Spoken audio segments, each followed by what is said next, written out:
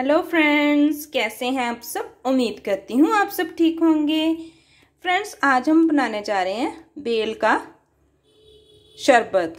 तो ये देखें, ये मैंने बेल ले लिए हैं दो। ये बिल्कुल पके हुए बेल हैं, ऐसे ऐसे ऐसे आवाज़ आती है इसको ऐसे मारने से। तो इसको हम वुड एप्पल भी बोल देते हैं। तो इसका जो शरबत होता है काफ़ी अच्छा होता है हमारी हेल्थ के लिए। तो हमें ये गर्मी में ज़रूर पीना चाहिए। तो हम शरबत बनाना स्टार्ट करते हैं। इससे पहले अगर आपने मेरे चैनल को सब्सक्राइब नहीं किया तो प्लीज़ कर दीजिए। तो फ्रेंड्स, बेल का शरबत बनाने के लिए मैंने चार गिलास शरबत बनाना है। तो मैं एक ही जो है बेल, इसको यूज़ करूँगी। दूसरा मैं रेफ्रिजरेटर में रख लूँगी, उसको मैं बाद में यूज़ करूँगी। तो फ्रेंड्स सबसे पहले हम इसको आ, पील करेंगे। उसको हम कैसे करेंगे मैं आपको बताती हूँ। तो फ्रेंड्स इसको बेल को हमने कैसे जो है करना है ये देखें ऐसे मैंने वेलन लिया है। तो वेलन को मैंने ऐसे मारना है इस पर तो ये ऐसे टूट जाएगा। ये देखें जैसे ये टूट गया है ना। ऐसे हमने दो तीन जगह से इसको ऐसे तोड़ लेना है, ये देखें।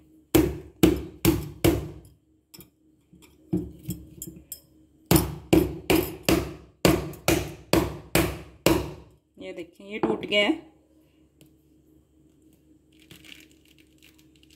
ये देखें। अभी इसको हमने सारे को एक बर्तन लेके उसमें निकालना है।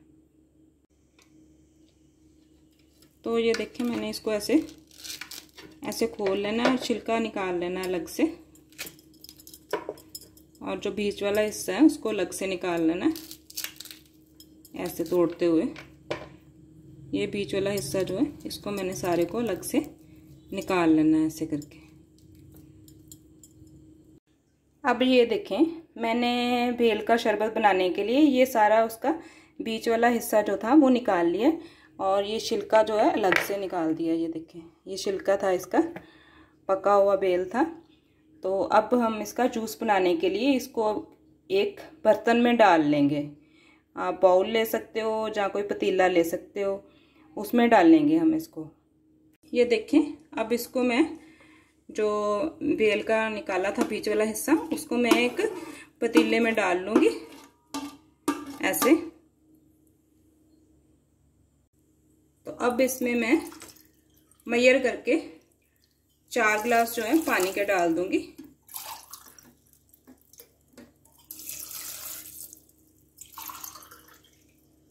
एक गिलास अभी और डलेगा तो चार गिलास हम पूरे पानी के डाल देंगे। तो ये देखिए, मैंने चार गिलास पूरे जो है पानी के इसमें डाल दिए अब इसके बाद हम इस जूस को जो है हाथ से बनाएँगे। इसको हमने ऐसे ऐसे इसमें ऐसे करना है मसलना है अच्छे से। थोड़ा टाइम लगेगा, पर इसको हमने प्रॉपरली ऐसे इसमें मैश करना है हाथ से। तो ये जो होता है जूस ये काफ़ी हेल्दी होता है। गर्मी में हमें ज़रूर पीना चाहिए, क्योंकि इसकी तासीर जो होती है, ठंडी होती है और बेल जो होता है, काफ़ी डिज़ीज़ जो होती हैं, उनको भी ठीक करता है। स्पेशली हमारे पेट में कोई प्रॉब्लम हो इनसाइड हमारे कोई जख्म वगैरह हो जाए, उनको भी ये ठीक करता है। तो इसको हमने ऐसे अच्छे से मैश कर लेना है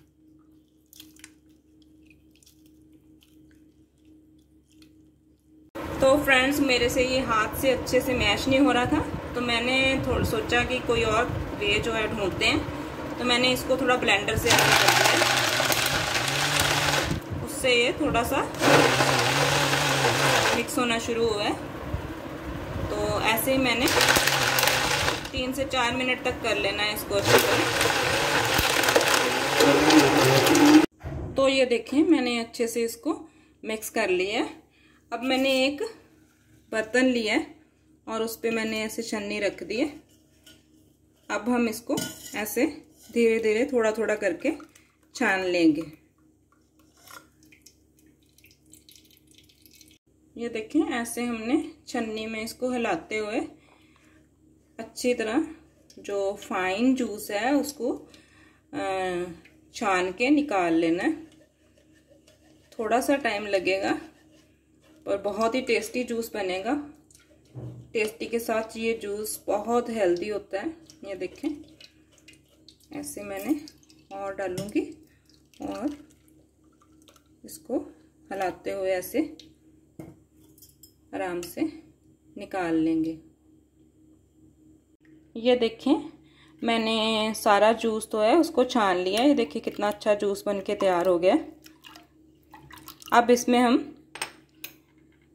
आइस डाल देंगे।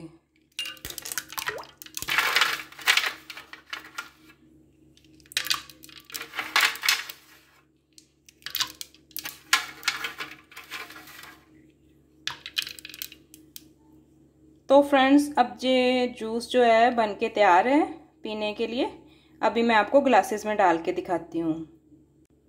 यहाँ मैंने जूस को चार ग्लासेस में डाल दिया है। देखिए कितना सुंदर लग रहा है। देखने में जितना सुंदर बनाए जूस, उतना ही पीने में टेस्टी है। आप इसी तरीके से बेल का जूस बनाएँ, बहुत ही टेस्टी बनता है और बहुत ही इजी वे है ये। इसमें कोई चीनी वगैरह डालने की ज़रूरत नहीं है, वैसे ही बहुत टेस्टी होता है।